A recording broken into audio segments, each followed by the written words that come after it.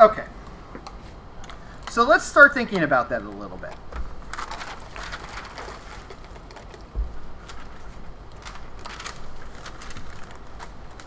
All right. We already wrote down, remember, so now we need to think about the radial part of the function.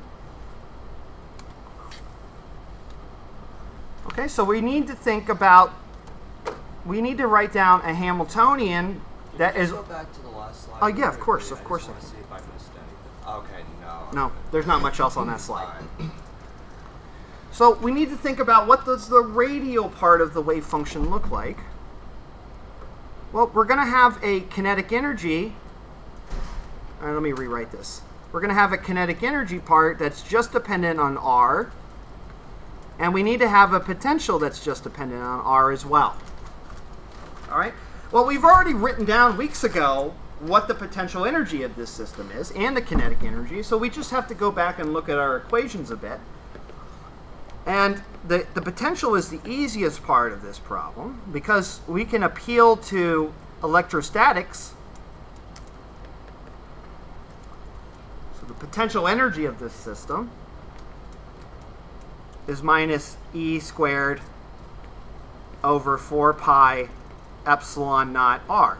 Right? It's got a 1 over r potential, right? This is Coulomb's law. Right? And this is just the attraction between two charges that are opposite. Right? Each, the proton and the electron both have charge E. Right? That's the fundamental charge. It's just a number. We get E squared, product of the two charges. One's positive and one's negative, so the net gives you a negative sign. And we have this 4 pi epsilon naught r denominator. All right, so it goes to 1 over r. And it's attractive, right? It's always negative. Right? This is always less than 0 right? As it should be, right? Because a positive and a negative charge always attract each other, regardless of the distance. Okay, and then we need to think about the kinetic energy part of this equation. Well, we, again, we wrote down this really, really scary operator for kinetic energy in three dimensions. So let's go ahead and do that. Let's rewrite it, and then let's just do a little bit of analysis and see what the, the relevant parts that we need are. All right, so the kinetic energy for the hydrogen atom is minus h bar squared over 2 times the mass of the electron times this big nasty differential equation 1 over r squared times the derivative with respect to r of r squared d by dr plus 1 over r squared sine theta, d by d theta, of sine theta, d by d theta, plus 1 over r squared sine squared theta times the second derivative with respect to phi. Now, Right? So this is our big, this is just the same thing. I just want to remind you that this is the same thing as minus h bar squared over 2me times the second derivatives with respect to position in Cartesian coordinates. Right? So the reason why this thing looks so ugly is because we have to convert from Cartesian coordinates to spherical coordinates, right? It's the same thing. This is in Cartesian. Right? So even though this looks really scary, it still has the same meaning. It's still the, the, the square of the momentum. Remember, momentum is mass times velocity. And so this is this is uh, momentum squared. It's the velo- it's um, the change in the position times the change in position, which is the second derivative.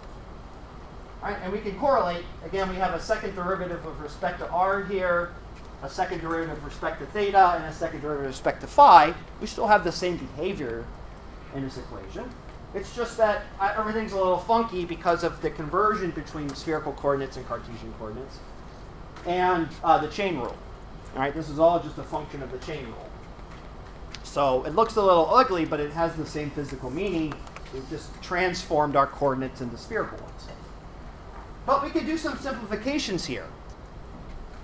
because we're only dealing with the radial part of the problem, right? So if we look at this expression right here,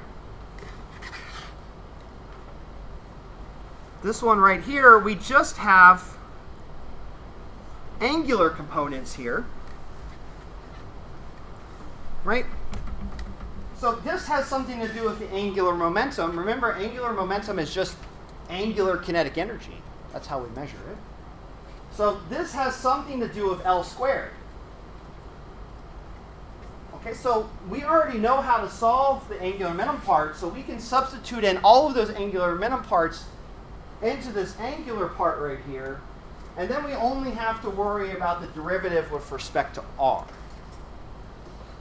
We've already solved this problem for, angu for the angular when we just looked at the angular part.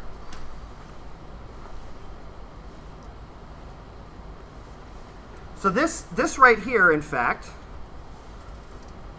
is this whole part right here is L squared over 2i, which is L squared over 2 MER squared. Okay, we've already solved, we already know what the wave functions and the eigenvalues and all the stuff for L squared are. We just put them on a separate page. And so this whole part of the operator, the energy, we already know the answer to. It's the angular part of the energy. And it's equal to the value of L squared time, divided by the, the, rate, the distance squared times the mass of the electron. Okay, so we can substitute that into here, and then we don't have any of these ugly derivatives anymore. All right, we just have them for r, which are the ones that we really care about here in this problem. So when we do that substitution,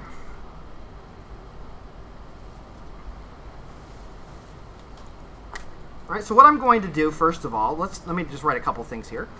So we're going to sub in sub sub in L squared. Um, we're going to apply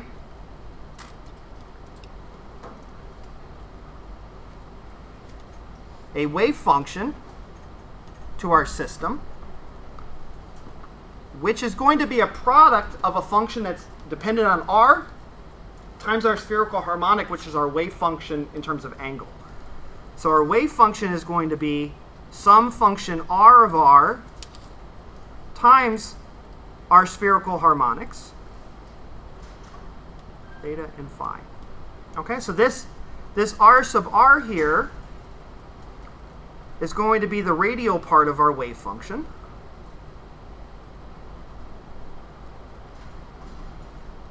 Okay, and the nice thing about this is that the wave function has separable dependence on angle and r. So the things that only take derivatives in terms of r is only going to affect this function. And all of this angular part, r sub r doesn't even know anything about it because it doesn't have any dependence on the angles. So this, the spherical harmonic has to do with L squared. It solves the part of the Hamiltonian. It's the wave function for the part of the Hamiltonian dependent on angular momentum. And then we have a separable part, a separate part that's only a function of r, that'll solve the rest of the equation. Okay, so our net equation, so the idea is, is that, the, the conceptual idea is, is that the Hamiltonian for the hydrogen atom has a radial part and an angular part that are separable.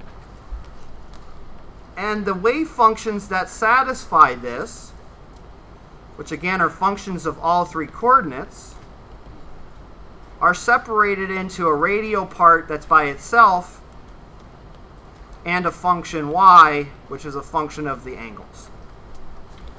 All right, so we're separating the problem formally into two independent problems that are that don't communicate to each other. And so the wave function, the solution of that wave function, is actually just a product of these two functions that satisfy this. All right, so let's let's do a little bit of math, and then I'm just going to apply just a bit more algebra. I'm going to solve for zero.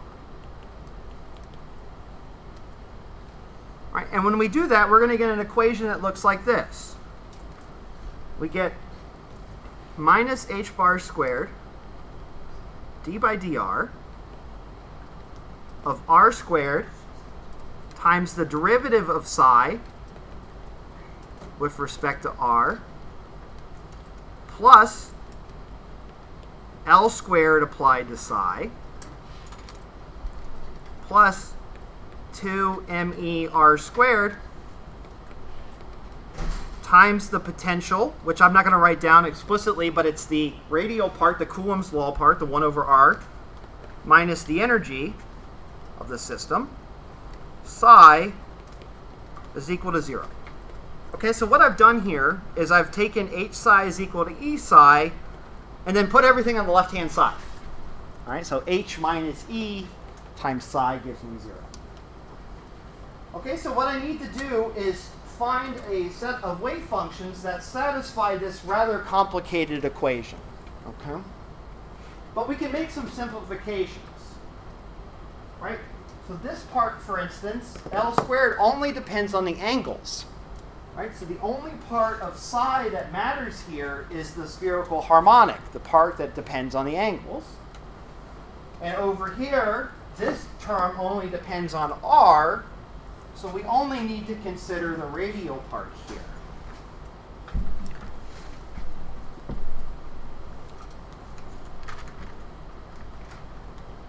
Okay, so I'll let you catch up in just a sec.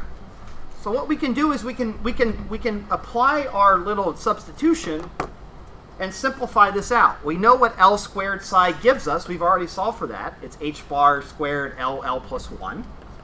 We know what that gives us. And we can we know that the angular part's not going to be involved in this radial part of the derivative.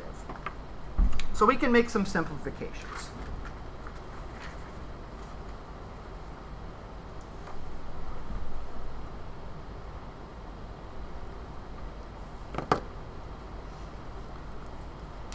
I'm basically just going to rewrite the equation. So what we end up getting here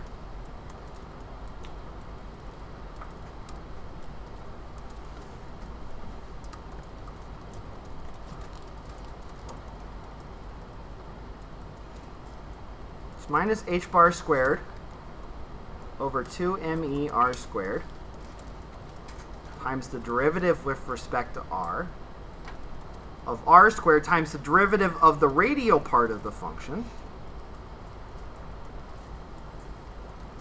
plus h bar squared L L plus 1, which again is just a number, over 2 MER squared minus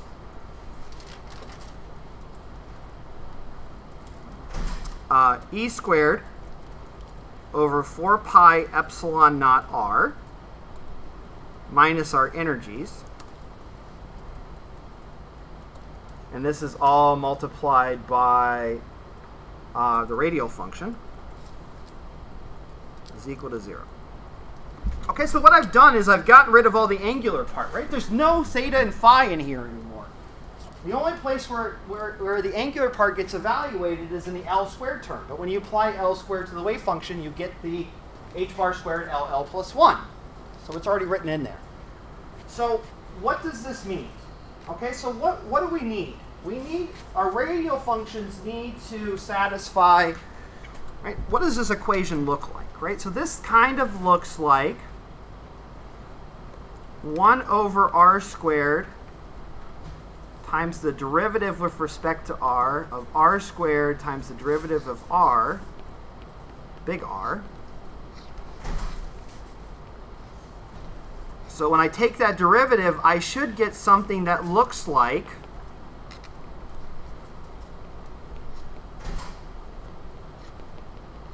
let me just uh, let me change my notation here just a sec. I just want to do this. Is roughly equal to.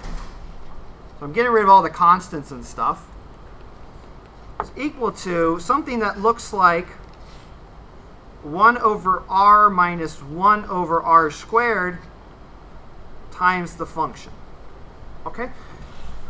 So what this says is that roughly, again, we have to worry about chain rule and the product rule over here, but roughly what we're looking for are functions of r that when we take a second derivative of them, we get the function back times 1 over r minus 1 over r squared. So we need functions that satisfy this expression. And let me just compare this to the harmonic oscillator. Right? So what's the equivalent form for the harmonic oscillator? Well, the harmonic oscillator says that the derivative with respect to position of the wave function gives me back um, roughly, let me write roughly, x squared times the wave function. Right, so the harmonic oscillator, we were looking for functions that when you take the second derivative, you get the function back times x squared. Here, we need to find functions that when you take the second derivative, and there's a couple of other terms here because of, here we have a product rule. We have to take the derivative of this times this plus the derivative of this times this. so there's two terms over here. Now we get a function that once you take that second derivative, you get 1 over r minus 1 over r squared back. Okay, instead of x squared. So the harmonic oscillator, you get r squared back. But here we're getting 1 over r. Okay, so this is going to have a different form, form of a function. The r is going, the radial part of the function is not going to look like a harmonic oscillator function because a harmonic oscillator function returns back x squared on the outside, but here we have this 1 over r minus 1 over r squared dependence. Right, so the functions are going to look a little different. But again, the, the, the formalism really isn't that much different. The idea is we're looking for a set of functions that when we take a second derivative of them, that we get the function back times some function of r. Right? So it turned, I'm not going to solve this problem. Just like I didn't for the harmonic oscillator, right? I said, this is something that you can look up the results for. And we wrote down the wave functions. You can do that here too. This has been solved. Right? So not surprisingly, the hydrogen atom is well understood. We know what those functions look like. And it, it turns out that you can solve this with regular differential equations.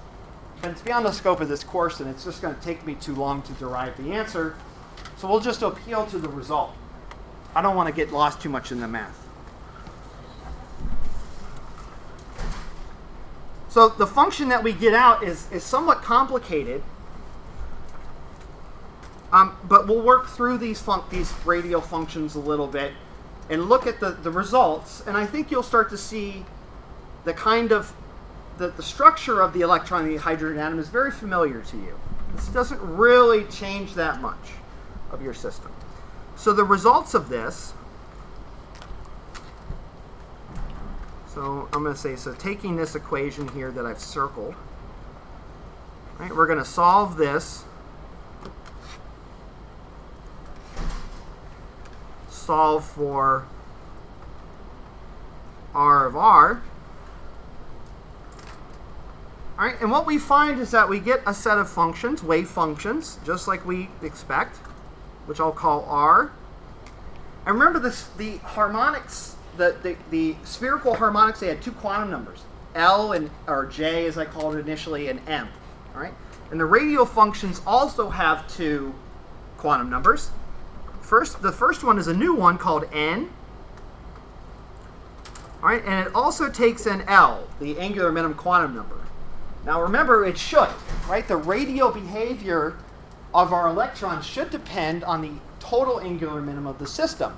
Because the faster that, that electron is spinning, the more centripetal force you have, centrifugal force you have, pushing the electron away.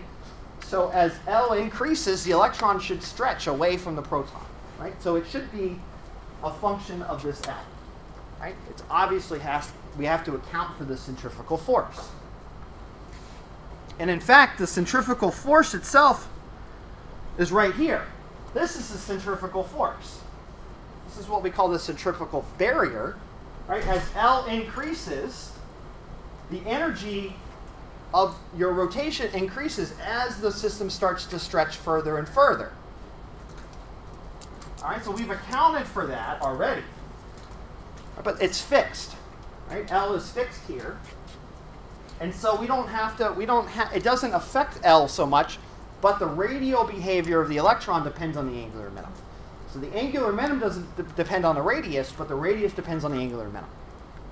Right, so we're going to have a different function based on the angular momentum, as we should, right? The p orbitals look different than the s orbitals. We should expect them to look different. Right, and this n number, this is the new number we haven't seen before. n. n is called the principal quantum number. Okay, and n can be anything greater than 1. Okay? This number is the 1, the 2, like 1s, 2s, 3s, 3p. That, that number, initial number in those orbitals, that's what n is, right? The principal quantum number. It tells you if you're in the n equals 1, n equals 2, n equals 3 levels, 3s, 3p, and so on. So you've seen this number before in GenChem. And this is, of course, just a function of r. Right? And it's got this really scary equation. Uh, but we'll work we'll work through them, and every time you ever need to work with these wave these radial equations, I'll give them to you, so you don't have to derive them yourself. But this is the general formula for them. So the first, there's a normalization constant that's dependent on the values of n and l.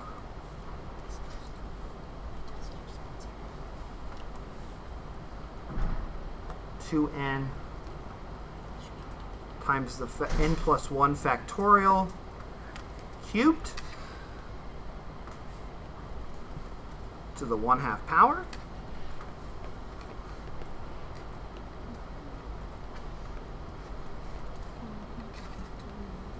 We have another constant with a new a new number we haven't seen before, a naught. It's a constant. I'll let you know what that constant is in a second. To the L plus 3 halves power. We have an R to the L dependence. And the main part of the wave function is this e to the minus r over n a naught. Is that supposed to be a 2? Yes, a 2. 2 over n. That's correct. 2? Is that L plus three halves? Yes.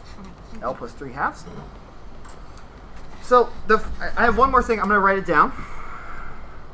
We'll define it in just a second. There's one more part of this function, a special function called a Laguerre polynomial. I'll write that down in just a second. It takes in two variables. It's like the spherical harmonic. It takes in two numbers, n plus 1 and 2l plus 1. And the input of that function is 2 times r. This is, sorry, let me write that, that 2 more explicitly. Over n um, a naught. Okay, so I've written down a bunch of stuff here. So let's break this down a little bit. Okay, so n and l are numbers. So this whole thing is just a number. Okay, and then we have this other normalization coefficient, which goes to L to the 3 halves, so it's just dependent on the value of L. And it's number A naught. And we see that A naught appear in three different places. Let's keep going. There's this R to the L dependence. And then there's this exponent, but it's different than the exponent in a harmonic oscillator. The harmonic oscillator gives you a bell curve, e to the minus r squared. This is e to the minus r. So the hydrogenic orbitals actually go as e to the minus r, not e to the minus r squared, which is interesting. We'll have to look at that. And that a naught is in the denominator of the exponent here. And then we have these magical functions, which I will write down the name of them. They're polynomials. They're called the Laguerre polynomials. Right, and it's not important what they what they look like. Again, these are things that I'll give you. But the Laguerre polynomials, the input, right, the, the, the variable for this polynomial is r, something to do with distance. But again, r is being divided by this a naught number here too. Okay, so let's think a little bit. I think this a naught is in particular very important because it shows up everywhere. What is a naught? Well, let's think about what the units of A naught might be. So this is just a normalization constant, so we'll ignore it for now. I think the most important place to look at A naught is in this exponent. So the wave function is depends on e to the minus r. Okay? So the units of r are meters, their length. And the total units of an exponent must be unitless overall. Okay, so the, the length in the numerator has to be canceled out by something in the denominator. So n is just a number, so it doesn't have units. It's a quantum number. One, two, three, four. So a naught it has to have some units that cancel out the units of length. So if r has units meters, that means a naught has to have units of meters as well. So a naught is some sort of length. And it has a very special name. Let me put it, we'll put it right up here. This is what's called the Bohr radius. We'll derive it next class, where it comes from. But it has a fixed value. A naught is exactly 5.29177 times 10 to the 11 meters, minus 11 meters, sorry. 10 to the minus 11 meters. So if I were to simplify this, this is about minus, this is about 0.53 angstroms. Okay, so built into the hydrogen atom is this magical length scale, half an angstrom. Right? Everything is relative to this half an angstrom constant. Right? And so if we think about the wave function, right, when we square this, right, we're going to want to square this to calculate the probability of where the electron may be in radius, right? We're going to take the square of it. So the probability is de dependent on e to the minus 2r over a naught. Right? So a naught tells you a little, if, so if r is kind of on the same order as a naught, then you have roughly e to the minus 1, give or take. Right? And that's kind of a good value, like an average value for e to the minus r. So radiuses, distances for the electron that are on the order of a naught are what I would call physical normal distances for the electron. The electron tends to exist, on average, on the order of the bond of the Bohr radius. That's what this says. So the fact that let's think about it this way. If you take two hydrogen atoms together, they're both in their 1s state, and you put them together to make molecular hydrogen, H2. How long is the bond length for H2? Well, it's about an angstrom. Right? So if you think about two atoms coming together and they share their electrons, they're exactly the same. The electrons are in the 1s ground state. And if I'm claiming that the average distance for that electron from a proton is about 0.5 angstroms. So if you take two spheres, if you will, that are on average radius 0.5 angstroms, what will the total length of the system be? It would be two times it. And that would give you a bond length of about one angstrom. So the Bohr radius sets the length scale for chemistry. Right? The fact that the, the, the, the average distance for the electron to the proton, the 1s orbital, will show this is a naught, or on the order of a naught. This sets bond lengths. Bond lengths are going to be on the order of some factor of, you know, maybe factor 2, factor 3, or something like that of a naught. So the question, of course, is where does a naught come from? Right? It's got a very specific number. Where does this number come from? And it's very odd because in my previous equation, right, if we look at the Hamiltonian, I don't have anything that looks like a naught in my equation. Right? I got massive electron, e squared, epsilon naught, pi, h bar. I have all these constants, but where the hell is a naught? Right? How do I get that a naught? Well, a naught is a combination of all these constants. See, the thing is, is that the, the length scale of the hydrogen atom, the electron in the hydrogen atom, is defined by the universal constants of the universe. Speed of light, the permittivity of free space, the charge of the electron and the proton, the value of h bar, the mass. All of these numbers play a role in determining this length scale.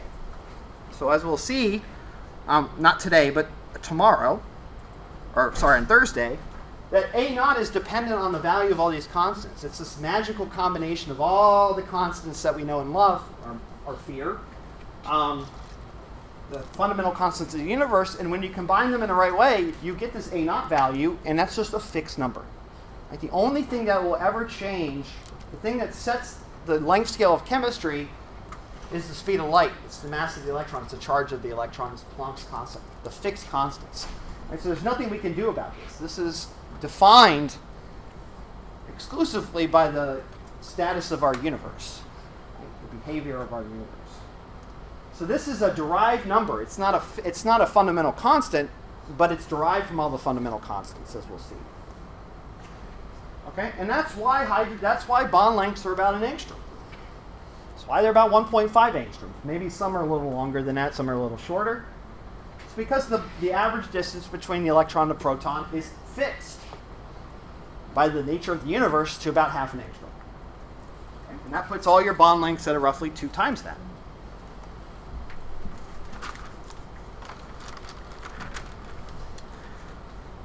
Okay, there's one more thing that we have to adjust. Is again, this is a function of two quantum numbers, n and l. This solving the radial problem sets a limit to what L can be. L is dependent on N. So let's kind of summarize the numbers that we have so far. So these are the hydrogenic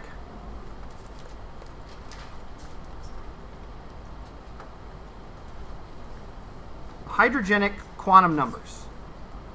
Right? Remember, quantum numbers are just labels. They just tell us what state we're in, what energy level our molecule is in, or our atom in this case. And hi- every hydrogen, every electron, or sorry, every state for the electron the hydrogen atom can be labeled with four numbers. All right, the first one is the one from the radial part, n. This is the principal quantum number.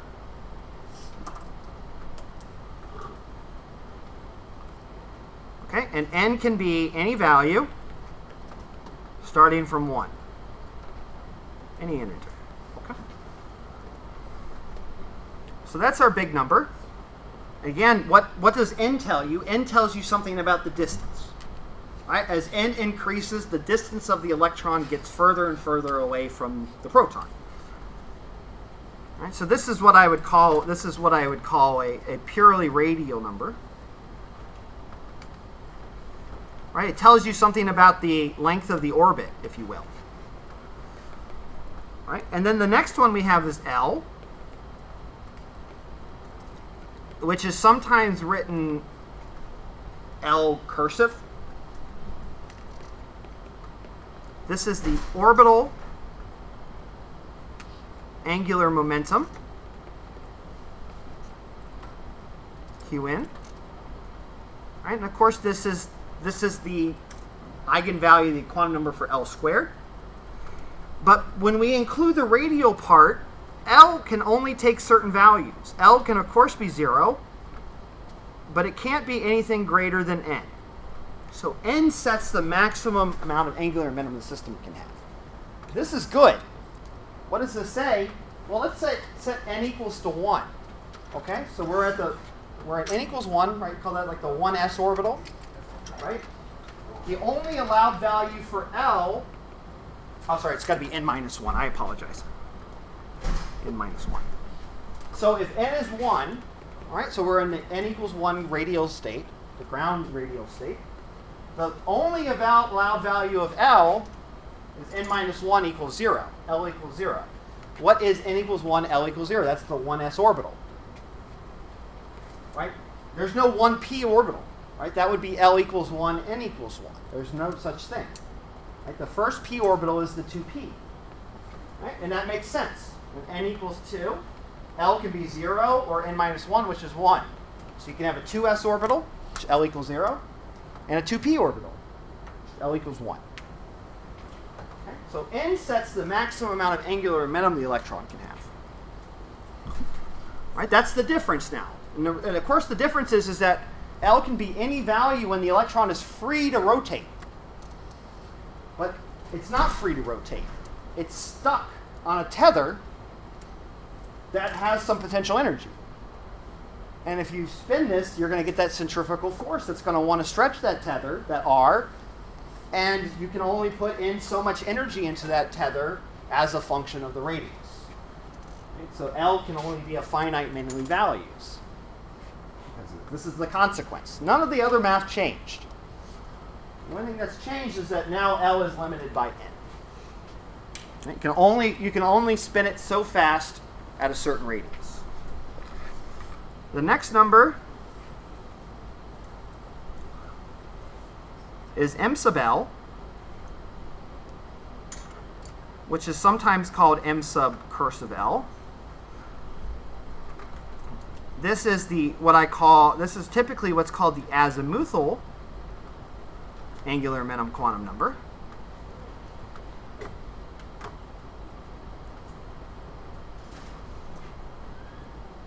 Right? And this is the number that represents the projection of the angular momentum along the z-axis, right? The different orbits. And we know there are two L plus one of them. So M sub L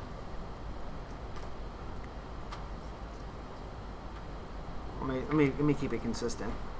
M sub big L can be anywhere from minus L minus L plus 1 to L minus 1 to L. Okay. This is the two angular momentum quantum numbers. And then we're left with one more, which is M sub S. This is the spin. Quantum number. Right, and m sub s can only be two values, right? Because the spin of the electron is only plus or minus one half.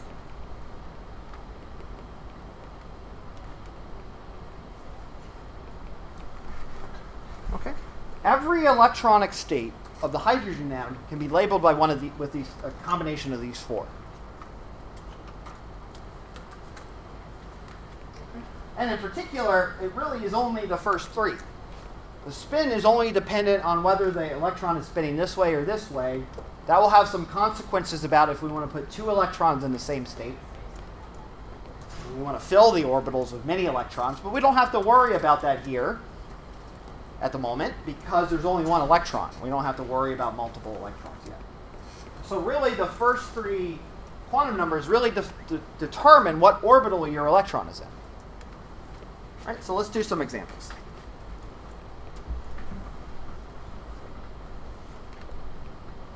And then uh, we'll, we'll look at these examples more carefully in just a second.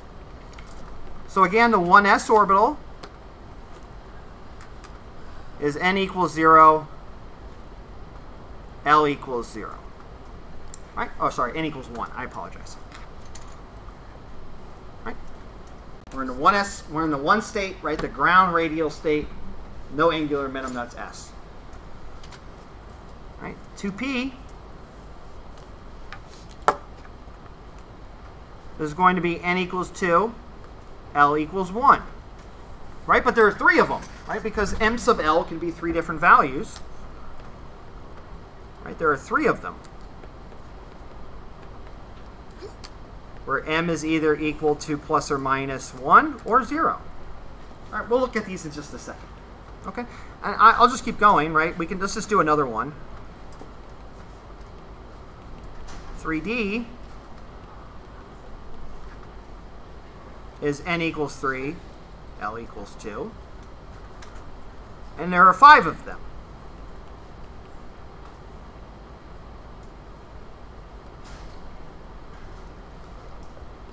Where m is equal to plus or minus 2, plus or minus 1, or 0. Okay, you've seen this math before. I'm only just formalizing now the question, of course, is why don't I just use 1s, 2p, 3d? Why, why is it? Why does it that I need to use all these quantum numbers, right? Why do I need to make it this complicated? Well, things start, as we'll see, things start to get funky when you introduce multiple electrons. And I'm going to show you in, within a week or so a situation where the concept of saying that my electron is 3D actually has some ambiguity to it. Not all 3D electrons are created the same. Right? And we'll see that for the P's in particular. that when we include when when I just think of it this way, you'd be like, well, what's the difference? But why can't I just write 2p and a px, py, pz? That's great. That's fine. There's nothing wrong with that. But I'm not including something important. I'm not considering the spin. Remember, this, this electron has two sources of angular momentum. It has the orbital angular momentum, and the p orbital, it's got angular momentum 1. It also has an additional 1 half from the spin that will add, right? Angular momenta add. So you have two forces act, two angular forces acting on this electron. And when you get to situations where you have many different choices of m, and you also have this spin, you can have multiple states that can be all called 2p or 3d. They all have that notation, but they have different energies because of the way that the spin adds to the orbital angular momentum. We'll look at this, uh, hopefully, to, hopefully on Thursday. So these labels that you learn in intro chem, they work really well for the hydrogen atom. They're not too bad, but they become ambiguous very, very quickly when you get to large systems. Right, so it's really important to start thinking about things in terms of their angular, their quantum, their quantum numbers, because these are unambiguous. Assigning these numbers is unambiguous. It works 100% of the time. Right? But this concept of 2p and 3d, these turn out there could be different 3d orbitals that have different energies. So all of them look a little different in terms of energy. Would not call them all equivalent. In fact, that's the case for the p's. We'll look at that more carefully. Right? I'm trying to get rid of this, trying to get away from this classical notation that we use in Gen because it just doesn't work all the time. And we'll see that very quickly, even in hydrogen. Okay, so let's look at some wave functions today. Got about 15 minutes. So what I want to do is I want to make a little table let's look at some combinations of quantum numbers, put our electron at some energy level. Again, I haven't told you what the energies are yet. We'll do that on Thursday. Talk about energy levels next class. Let's let's plug in some numbers and, and think about what, what are the radial and the angular parts. What does the wave function look like? Let's just do that. Right, what do the wave functions look like for these different orbitals? Right, because we have a radial part now and an angular momentum part. Right? We, saw the spherical harmonics. They got those natural shapes of spheres and bulbs and all the appearance we do, but how does the radial part affect them? Right, so we know their shapes. We, we know their shapes already, but the radial dependence is very interesting, I think. So I want to make a big fat table here. We're going to label our states N, L, and M sub L are three quantum numbers.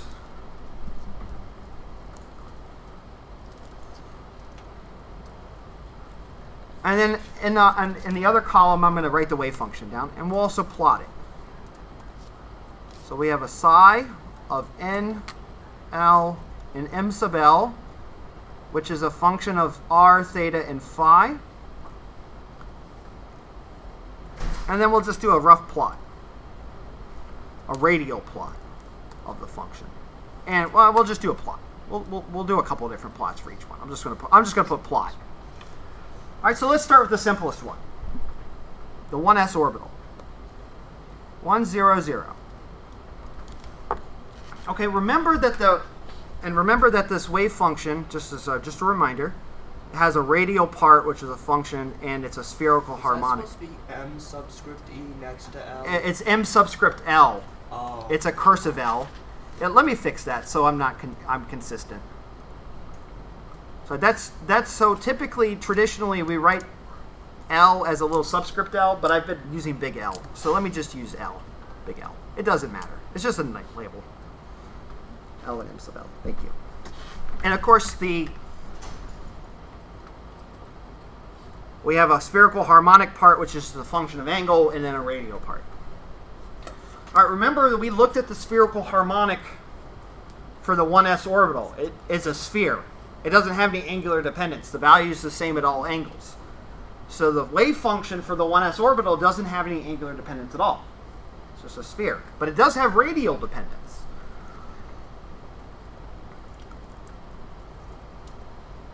All right, so the wave function for this is 1 over pi, square root of pi, sorry,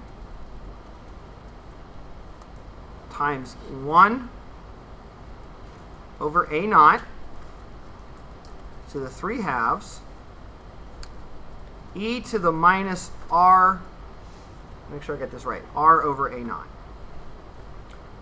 Okay, notice that it only has dependence on r. There's no dependence on angle. Right? A function that's three-dimensional, that's only dependent on r and not dependent on angle, has spherical symmetry.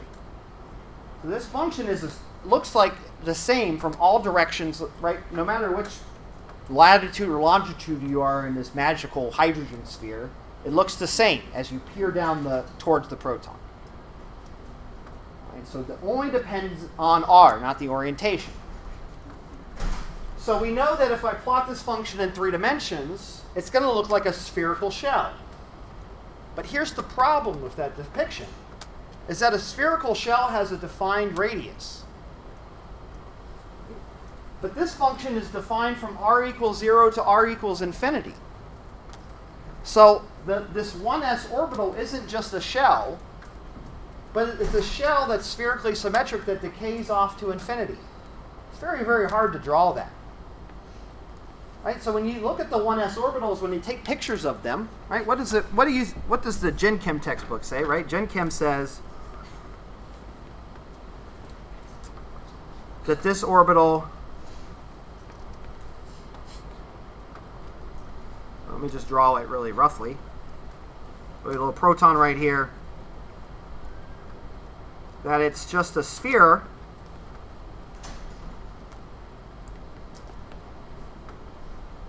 Right? It's just a sphere. Right? But what does a sphere have? A sphere has a defined radius. But the wave function is extended out to infinity. Okay, so these radial shells, turns out, so when we take this picture, when people take this picture or make this image, they calculate the wave function at the average value of r. So when you draw this shell, when people draw these pictures of the 1s orbital, they're setting r to be a fixed value. They're setting r to be a naught. So when you set r to be a naught, this goes away. You have e to the minus 1, which is e. It's just a number. And so your wave function is just a big number. So a three-dimensional number is just a sphere. Okay, so this picture right here assumes a finite r. That the, that the electron is fixed at some distance r, which is the surface of this sphere. But the electron is delocalized to infinity. So in fact, it's a, it's a, it's a spherically symmetric shell that extends out to infinity. And the amplitude of it gets smaller and smaller as you go away from the center. So if I were to actually plot this function as a function of r, right, what does it look like? Well, at e equals 0, it's got some value, because you get e to the 0 is 1 and it just decays off as r goes to infinity like this. This is the psi 1s of r. All right, so the function, the wave function, right, so what, what the function looks like in three dimensions, again, is a spherical shell, but the shell extends out to infinity. Right, so the electron can technically be anywhere around the proton. And the further it gets away from the proton, the less likely it's there. But in general, it's going to be in a spherical shell that has infinite thickness. Asymptotically, goes to zero thickness, but asymptotically, it goes to infinity. Right? The 1s orbital is extended forever, but it's spherical. And that's what it actually is next. So yeah, this this this picture right here is if I take if I draw a line from the center out to some point here on the sphere and extend it out forever, the wave, the, the, the, the wave function as I go along this trajectory looks like this. Okay, I know it's kind of hard to imagine that. Again, this is this is the problem is that wave functions are actually four-dimensional, right? They have three coordinates and then they have a value right? So the function is a y equals a function of r, theta, and phi. So you need to have three dimensions to calculate the value, and then you need a fourth dimension to plot the result. So wave functions are kind of hard to draw for the hydrogen atom because they're actually four-dimensional surfaces. They're three-dimensional surfaces, but you have to plot them in four because you need an axis for the y, the output. So it's very hard to draw this, but the idea is, is that the wave function is spherically symmetric, and as you walk across any line along the radial part, the wave function decays as 1 over e to the r. Sorry, e to the minus r. I guess it's the same thing. All right, it's very hard to imagine this, okay? This is why we draw these pictures like this. They're not accurate, but we have to reduce the dimensionality of our picture in order to plot it in three dimensions. So when you draw these pictures of orbitals, you fix r to some value and then plot the angular part of it. And typically the 1s orbital is plotted so that r is fixed to the Bohr radius. r is equal to a naught, and then it's just a sphere of radius a naught. Very, very hard to draw these. So let's go to the next one. Let's go to the 2s. What happens in the 2s?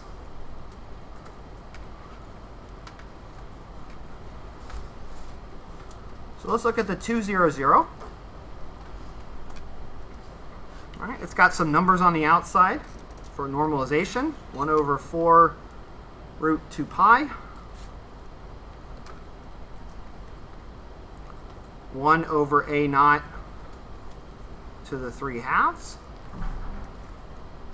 And then we have, um, let me just make sure I got it right. Yeah, so this is 2 minus r over a naught e to the minus r over 2 a naught. Okay. So, something's changed here. So again, we still have this e to the minus r behavior, right? So the wave function still decays like this. There's no angular part, so it's still spherically symmetric. But now this is multiplied by a linear function, 2 minus r. So this is going to change signs at some point. So this wave function is going to be positive for some values and then negative for other values.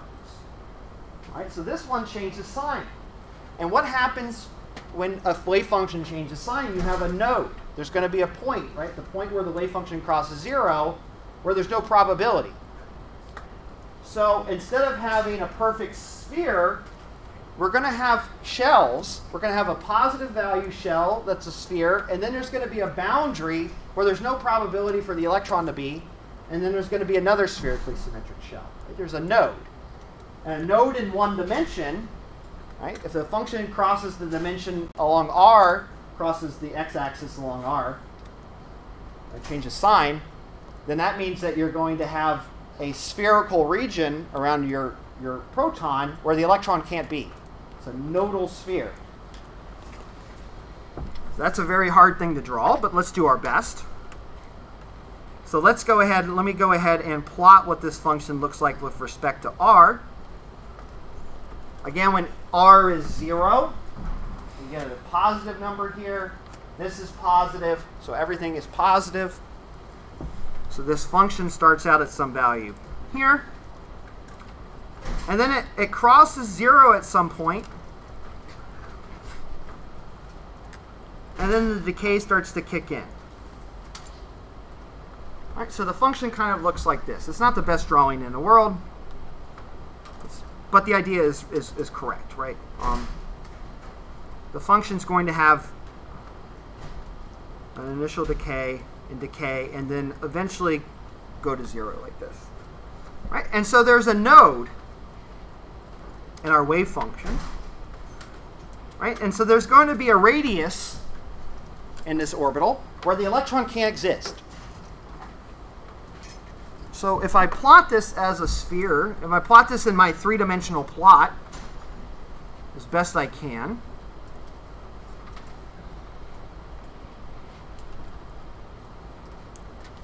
I'm sorry.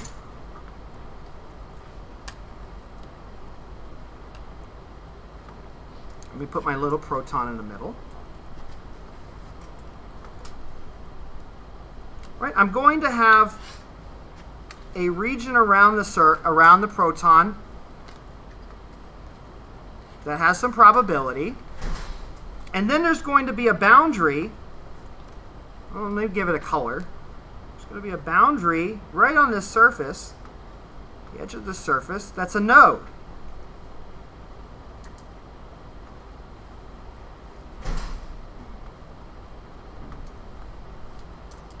Right? We have a nodal surface. And then outside of that, there's going to be another sphere that extends off to infinity that's a different sign.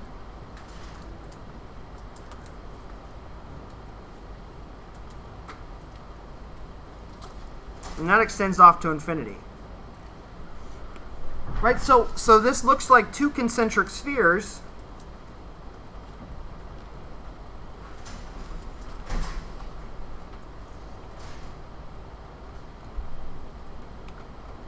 With a connecting shell that is a node.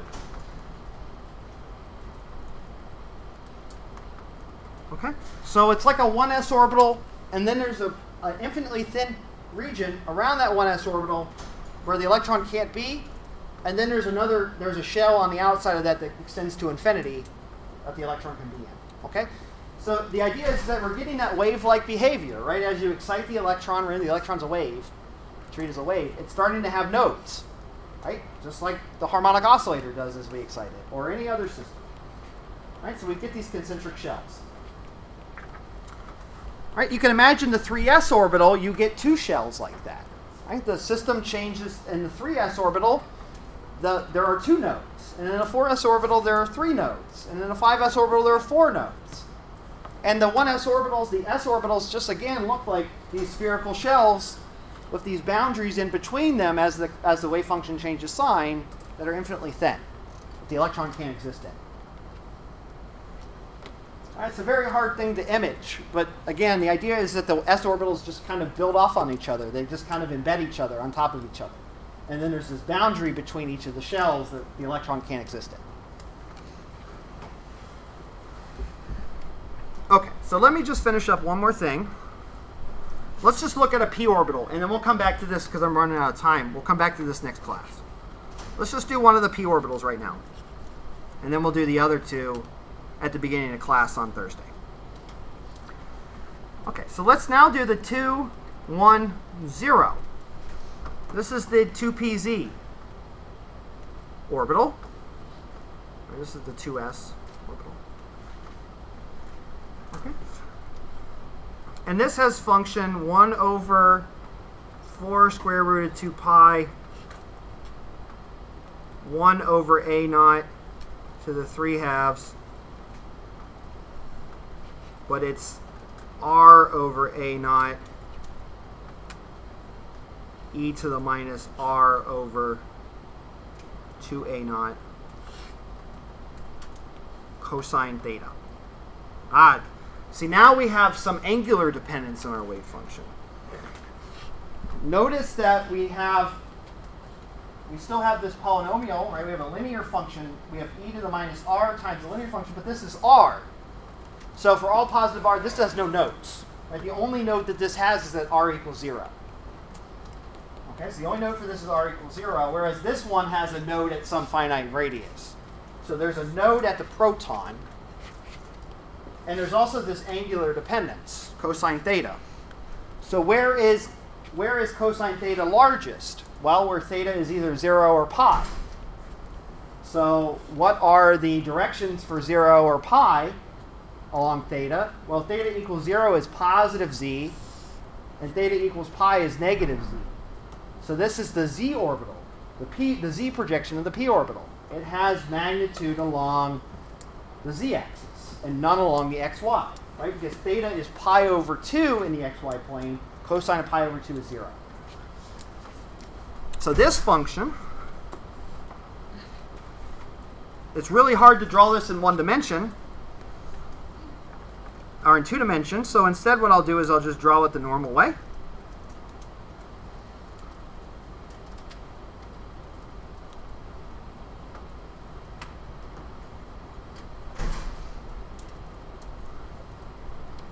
This function has a node at r equals 0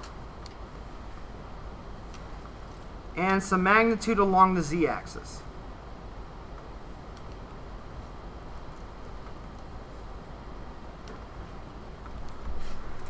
This is a 2pz orbital. Right, remember that this is this has a maximum, I'll just write this here, a maximum at theta equals 0 and pi, which is plus or minus z along the z-axis. So the z orbital has no dependence, no projection along the xy plane. In fact, this has a nodal plane, right? The entire xy plane is completely probability zero. Right? So I can even sketch that, right? Just kind of draw a couple of a parallelogram here. Just kind of draw it behind.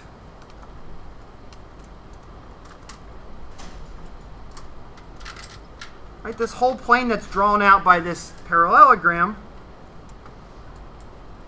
in the xy plane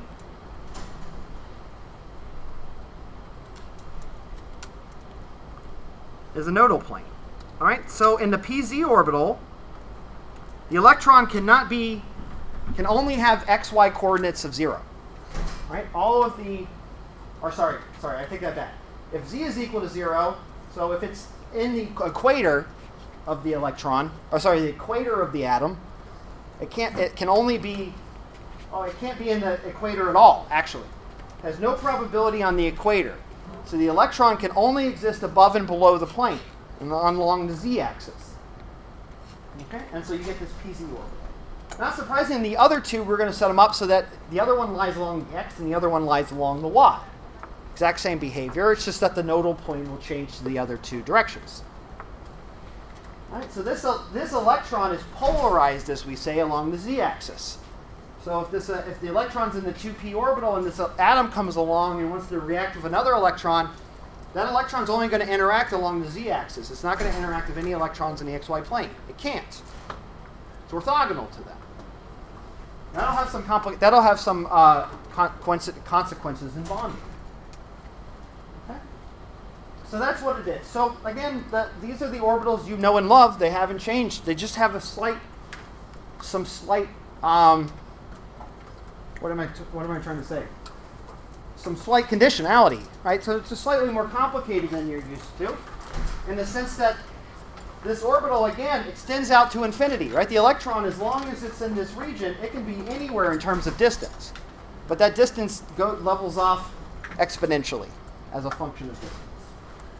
Okay, so these these are just pictures of where the electron is at, at, on average. Okay, so next class we'll come back to that, finish the other orbitals, and then we'll go calculate that. What is the average position of the electron in these orbitals? And then maybe we'll be able to justify these pictures a little bit better. Okay, we'll come back to that. All right, you guys have a good day. I'm not gonna stitch. Why? So, with buffers, do you keep it in moles? Like, I don't know For the you this, but it's a rebuttal Um, what type from is this? facilities. Says I Uh, got chapter it 19. 'cause I know there's a some student that org use some moles, reason. and I don't there's know. some that uses molarity. I can never remember the difference in why I was allowed to do it. Chapter 19? I chapter 19. Because I feel like I'm having a stroke. I cannot remember. Calculate the cycle. I'm trying to This is just KSP.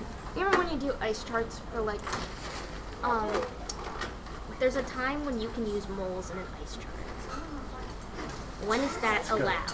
Good drama. I know what you're. Good drama. Good tea. I know what you're talking about. Yeah, I just can't remember right now. And I feel like I'm dying inside. Have you looked through the? the If you start with we go over it, no, in if you're, if uh, you're changing that to equivalence, you mean like that. Well, because like when you're doing ice charts with buffers, you do them in moles, right? when But I can can't remember go which on? You said that you still So like, um like and uh, for example, still when you're using like, the one Hasselbalch, like three credit and you're doing the negative concentration, next this one or doesn't next mold. semester. Yeah, I should have some space for you. one is it moles and one is it Yeah. molar. Um, Do Let me think about this for a molarity. So I have- the AI. Jimmy, No, but that's what everything was saying. Let me check. Sabita. Who else was working with me next And year? if you do it in molarity, you, You- get a negative.